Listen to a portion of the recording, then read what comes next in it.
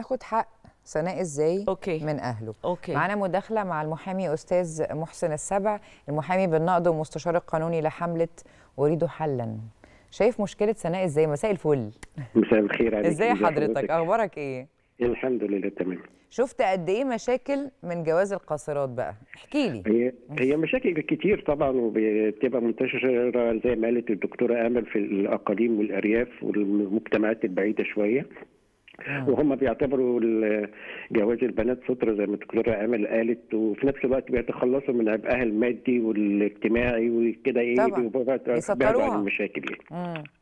طب إيه الإجراءات بقى اللي إحنا ممكن ناخدها إيه المفروض الإجراءات اللي هي تعملها عشان هو- على الأقل يعني أبقى يا سيدي أبقى بأرملة وأبقى اتجوزت قبل كده وعشان أقدر آخد حقي في القضية اللي بيرفعوها دي برضو البنت دي هتطلع كده خالص لا هي حوار ال- الشرعية والقانونية كاملة محفوظة بس لازم آه. تبدأ فورا برفع دعوى إثبات علاقة زوجية وإثبات حقها في الميراث من زوجها المتوفي وبتقدم أصل العقد العرفي بتقدموا فين بقى آه والمحكمة بتحل الدعوة لسماع شهود ال ال الإثبات والواقعة وبالتالي بعد ما تتأكد من توافر أرقام الز- عقد الزواج من إجابة وقبول وإشهار بتحكم بإثبات العلاقة الزوجية وبتحكم لها بميراثها الشرعي في جوزها المتوفي. طب بتاخد وقت قد إيه لا ال- القضاء المصري حاليا آه، القضاء النزيه بيتميز بالعدالة الناجزة فما بتاخدش وقت كتير يعني حوالي ثلاث أربع شهور يعني. لو البنت جت وزي ما بيقولوا كده وقعت في عرضك إن أنت تتبنى ال- الحالة دي هتعمل كده ولا لأ؟ لا طبعا يعني هي مرحب بيها في أي وقت على راسي وجدعان. وهنقف جنبها طبعا